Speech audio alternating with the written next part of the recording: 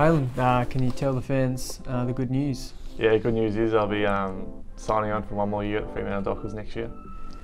Coming off a rookie list and you're playing eight games this season, how have you seen this year for you? Yeah, it's been um, quite pleasing for myself. Um, yeah, made my debut earlier in the season and um, played a few games there and um, had a bit of time away, go back to Peel and um, yeah, work on the things I need to and come back in the side um, recently and yeah, hopefully keep improving each week. Can you describe the vibe, you know, around the club, especially with you know the group of young players that are coming through?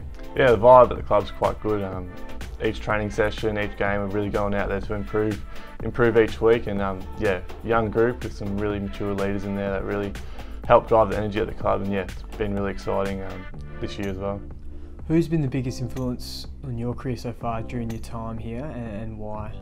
I'll say my doc coach, uh, Roger Hayden. He's been um, really helpful to me. Um, he always reviews my games with me from Peel and AFL as well, and always just giving little tips about on and off the field as well. So he's been a really big help towards me. There's a real young group down in defence. How you know encouraging is it that these are the guys you'll be building and sort of playing your football for the next couple of years? Yeah, quite a young group down there with Luke Ryan, Joel Hamling, Alex Pearce, especially those two, Alex Pearce and Joel Hamling. Um, quite young but really good leaders as well. Alex Pearce in the leadership group and Joel Hamling, um, yeah, great leader from Bulldogs, premiership player. They're really great. And Michael Johnson on the weekend, um, yeah, one of the best backmen to play for Fremantle definitely passing on his knowledge, and yeah, it's been really helpful playing for those guys.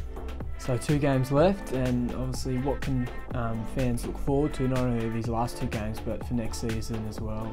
Yeah, hopefully the fans can look forward to um, us playing quality opposition in Geelong and Collingwood, and yeah, all of us boys want to put our best foot forward against two quality teams. Next year, we really want to start the year well, and yeah, really put our best foot forward.